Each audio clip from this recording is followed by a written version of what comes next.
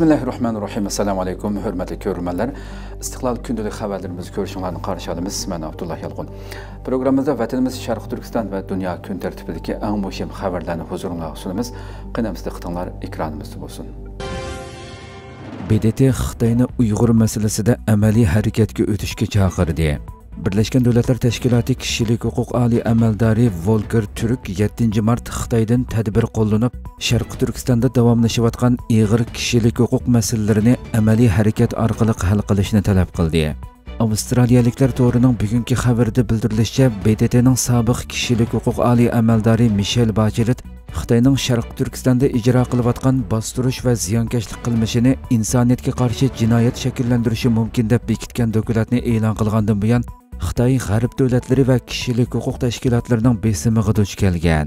Volker turk bdt kishilik huquq kengashining bu qitimliq yig'inda qilgan so'zida birlashgan davlatlar tashkilotining sharqi turkistondagi uyg'urlar hamda tibat qatorliq millatlarni qo'g'dashga intayin ko'ngil bo'ladiganligini ko'rsatgan.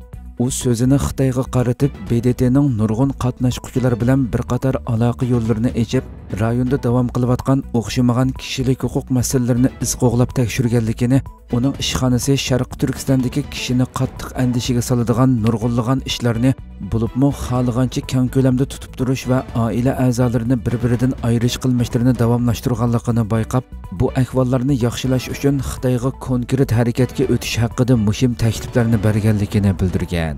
Bildirilishicha bu chaqiriq volker turkning o'tgan yili oktyabrda bdt kishilik huquq oliy amaldori bo'lib saylangandan buyon tunji qatim janvadagi kishilik huquq kengashida so'zlagan nutqi ekan kishilik huquq oliy komiteti e'lon qilgan dokumentda xitoyning uyg'ur va boshqa musulmon millatlarini asos qilgan xohlagancha va kamsitish xarakterlik tutib turish qilmishining darajasi qonun va siyosatga asoslanganda shaxslar va guruhlar bahramon bo'layotgan asosiy huquqlarni texmi umumyuzlik cheklagan va mahrum qilgan ahvol ostida xalqaroliq jinoyat shakllantirgan bo'lishi bo'libmi insoniyatga qarshi jinoyat shakllantirgan bo'lishi mumkin deb xulosa qilingan edi. Xalqaro ayollar kuni munosabati bilan xitoyga qarshi bayonot e'lon qilindi 8 mart xalqaro ayollar kuni munosabati bilan istanbulning fatih rayonida xitoyning sharq turkistonda yurgizayotgan irqiy qirg'inchilik jinoyatiga jumladan qiz ayollarga qarata ijro qilayotgan inson qilibidan chiqqan qilmishlarga qarshi axborot e'lon qilish yig'ilishi o'tkazildi faoliyatni xalqaro sharq turkiston tashkilotlar birligi sharq turkiston nuzugum kultur va oila jamiyati turkiya ihaha insoniy yordam maxfiy ayollar bo'limi va xalqaro musofirlar huquqi jamiyati birlikda tashkilladi. Sharqi turkiston nuzugum kultur va oila jamiyatining raisi munavvar o'z uyg'ur xonim xitoyning sharqi turkiston xalqiga bo'libmi ayollarga yurgizayotgan terror siyosatiga qarshi bayonotini o'qib o'tdi. U bayonotida xitoyning sharqi turkistonda ayollarga ijro qilayotgan bostirish qirg'inchilik yurgizish majburiy tug'mas qilish qatorliq jinoyatlari tasavvur qilg'usiz darajaga yetdi. Sharqi turkistondagi qiz ayollar dunyodagi eng ig'ir kunlarni boshdan kechirmoqda deganlarini bildirdi. U bayonotida yana xalqaro jamiyatni islom dunyosini va bdt boshliq xalqaroliq organlarni xitoyning sharqi turkiston xalqiga ijro qilayotgan irqiy qirg'inchilik jinoyatiga qarshi xalqaroliq embargo yurgizishga chaqirdi. Ondan başqa İHH İnsani Yardım Vakfi Ayallar bölümüdən Aişə Muzayyan Taşçı, Xalqara Musafirlər Hüquqi Cəmiyyətidən Zeynəb Ərtekin, Malayşiya Müslüman Yaşlar Hərəkəti Heyətinin əzası Fatima Əz-Zəhra Muhammad qatarlıq təşkilatlarının vəkilləri söz qıldı. Ular so'zlarida uyg'ur xalqining jumladan uyg'ur ayollarining iyg'ir kunlarni boshdan kechirayotganligini butun dunyo xalqining buningga sukut qilmasligi kerakligini shundoqla muhojiratdagi uyg'urlarning bugungidek iyg'ir kunlarda bo'linmaslikka texmi kuchlik birlashishga ehtiyojli ekanligini ta'kidlashdi. Istanbulda uyg'ur mahallasi qurish uchun tunji qadam tashlandi. 7 mart istanbulning selimpasha rayonida uyg'ur mahallasi qurilishiga lent kesish marosimi o'tkazildi.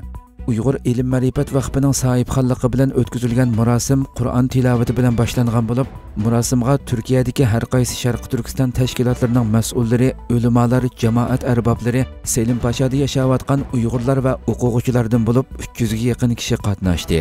Uyg'ur mahallasi qurilishi kanadadagi shimoliy amerika islomiy jamoat yordam tashkilotining qo'llashi va yordam bilan qurildigan bo'lib mahalla qurilmoqchi bo'lgan o'rin istanbul shahar markazidan 30 kilometr yiroqlikdagi selimpasha rayoniga joylashgan. Mazkur uyg'ur mahallasiga yetim yesirlar uchun 64 yurish o'ltiraq uy qurish planlangan bo'lib murosimda har qaysi tashkilot rahbarlari va vakillari so'z qilib uyg'ur mahallasi qurishning avlodlarning diniy aqidasi milliy kimligi ve örüp adetini saklap gelişiga ve onunga varislik gelişiga vasıta boludiganlygyny bildirişdi. Ahirida qurulishning g'albilik boshlanishining tunji qadami sifatida lint kesish murosimi o'tkazildi. Xitoy qurultiyida Sharq Turkistonning boyligini bulang-talang qilish ta'kidlandi. Xitoy rejimi 14 navbatlik atalmish xalq qurultiyi birinchi yig'indagi xizmat dokumentida sharqi turkistondagi energiya qazilma boyliqlarni echishni oshirishni kuchaytirish kerakligini ta'kidlab bu yilmi sharqi turkistonning tabiiy boyligini texmi nuqtali holda bulang talang qiladiganligidan bishorat berdi. Xitoy xalq to'rining 7 martdagi xabarida ma'lum bo'lishicha xitoy sharqi turkistonning neft tabiiy gaz boyligini qazishni kuchaytgan bo'lib 3 oy kirgandan buyon sharqi turkistonda qurilishlarda ish boshlash to'lqini ko'tarilgan. Bo'libmi taklamakan qumliqida keng ko'lamli qurilishlar boshlangan tarim neftlikidagi fuman g'arbiy shimol neftlikidagi shunbiya qatorliq rayonlarda quduq jihozlari tiklanib neft gaz yig'ib xitoyga tush turbi liniyasi har tarafga tutishib burg'ulash mashinalari ko'paygan xitoy xabarlarida oshkorlanishicha bir hafta ilgirla tarim neftlikidan xitoy rejimi goliya c3 deb atab olgan neft quduqi 9375 metrgacha burg'ulangan xitoy e'lon qilgan sonliq ma'lumotlarda oshkorlanishicha tarim o'ymonliqidagi cho'nqurligi 6000 metrdan 10000 metrgacha bo'lgan neft va tabiiy gaz boyligi ayrim ayrim holda butun xitoydagi umumiy miqdorning 83,2% va 63,9%ni darajadan tashqari cho'nqur qatlamdagi neft tabiiy gaz boyligi umumiy miqdori taxminan butun yer sharining 19%ni egallagan Xitay növətdə 1 milyard tonna dərəcəlik iki çoğ neft zapısı Cimsar Silaneti smeyi və Maxu Zich qoramdaşlıq neftini etişini tezlətkən. 2022 yılı Cimsar Silaneti smeyinin məhsulat miqdarı 500 min tonnadan aşqan. Maxu qoramdaşlıq neftlikinin məhsulat miqdarı 3 milyon 400 min tonnağa yetkən. Xitay 14-ci 5 yıllık planının axırığı barğanda bulantalan qılış miqdarını ayrım-ayrım halda 1 million 700 ming tonna va 5 million tonnaga yetkazishni planlagan.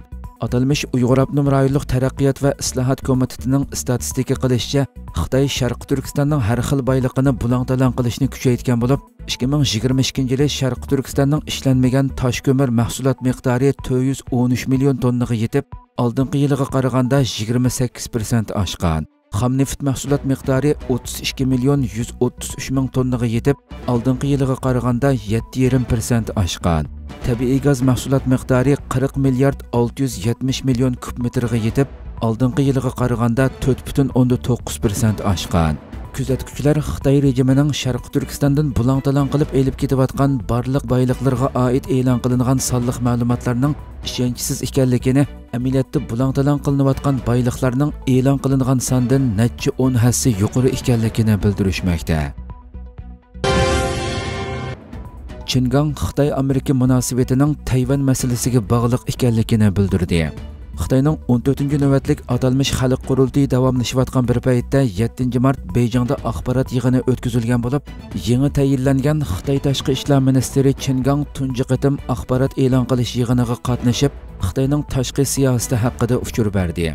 Amerika ovozining bu vaqtdagi xabarida bildirilishicha chingang axborot e'lon qilish yig'inida qilgan so'zida xitoyning tashqi ishlar siyosatida tunji bo'lib o'rta osiyodagi 5 davlat boshliqlari bilan uchrashadiganligini orqadan atalmish bir balvoq bir yo'l planiga asosan xalqaro hamkorlik yig'ini o'tkazishga boshlaydiganligini bildirgan Чинган so'zida yana Xitoyning hamkorlikqa tayinib, cho'ng davlatlar o'rtasidagi moslashish va aktiv aloqani ilgari suradiganligini, boshqa davlatlar bilan do'stona hamkorlikni taraqqiy qildiradiganligini va yangicha xalqaro munosabat qurilmasi o'rnatishni ilgari suradiganligini da'vo qilgan.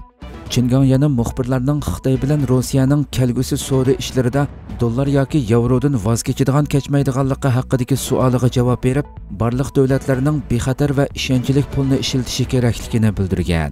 Çingang Tayvan masalasi haqidagi savolga javob berganda Xitoyning atalmish asosiy qonunni tilga ilib, tayvanning xitoyning bir qismi ekanligi bu barliq xitoylarning muqaddas majburiyati ekanligi tayvan masalasini qanday hal qilish xitoyning ishi ekanligi hech qanday tarafning aralashish huquqi yo'qligi haqida jar solgan Чинган yana Tayvan masalasida butun kuchi bilan Xitoyning tinch birlashishni amalga oshirishga tirishadiganligini, Xitoy bu maqsadga yetish uchun barliq tadbirlarni qo'llanish yo'lini saqlab qolish bilan birga bo'lgunchilikka qarshi turish qonuniga xiloflik qilish qilmishlarini qonun bo'yicha qandoq bartaraf qilish masalasi aniq belgilanganligini, hech kimning Xitoy rejimining va xalqining davlatning egilik huquqi va zamin butunligini qo'g'dashdagi qat'iy irodasini to'van mo'ljallanmasligi kerakligini bildirib propoza qilgan.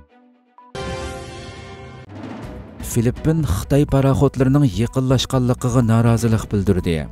Филиппиннің еңі президенті Фердинанд Маркос вазипеге олтырғандың бұян, Филиппин білін Қытайның Жануби деңіздегі игілік құқық талаш тартышы барған сірі бейвасты талаш тартышқа өзгіріп, халықара жәмиетінің диққатini қозғымақты.